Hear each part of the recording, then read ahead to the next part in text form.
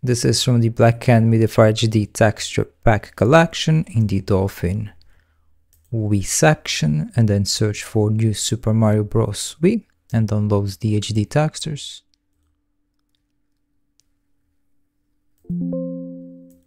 Next go to RetroArch and run the game with the Dolphin core. Press the F1 key on your keyboard to open the quick menu and then go to core options. And then here in the internal resolution, I recommend using a high resolution or you won't notice much of a difference in the HD textures. Then scroll down until you see load custom textures and turn this on. Close down RetroArch.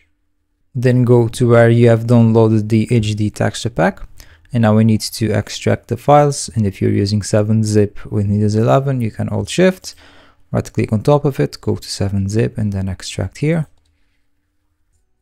Then go inside of this folder, copy or cut the folder with the game serial or with the game ID then go to your RetroArch folder.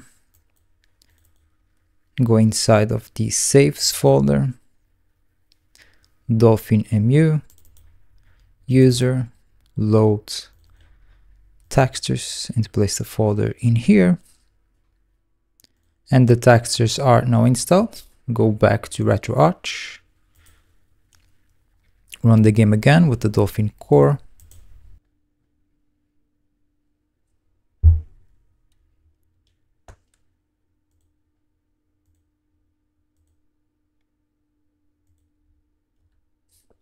and the HD text should be working correctly. That's it for this video and thank you for watching.